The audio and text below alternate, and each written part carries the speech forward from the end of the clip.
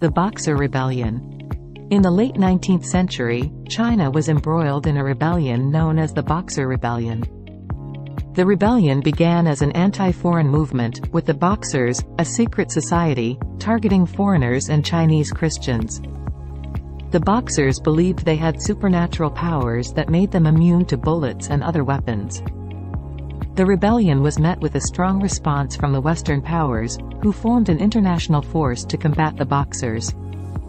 This force included troops from eight different countries, including the United States and various European powers. The international force successfully captured Beijing and crushed the rebellion in 1901. The Boxer Rebellion was an important event in Chinese history, as it marked a turning point in their relations with Western powers. It revealed the vulnerability of China and the need for modernization and reform. The rebellion also had profound effects on China's political and social landscape. It weakened the Qing dynasty and contributed to the ultimate downfall of imperial rule in China.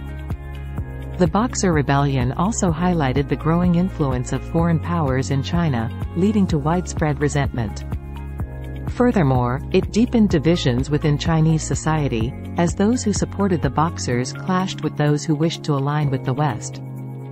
The rebellion also sparked a wave of anti-foreign sentiment, as Chinese people felt their culture and sovereignty were under threat. While the Boxer Rebellion was ultimately quelled, it left a lasting legacy on China's relationship with the outside world. It led to further demands for reforms and modernization, as China sought to strengthen itself and protect its interests. The rebellion also underscored the importance of unity among the Chinese people in the face of external threats.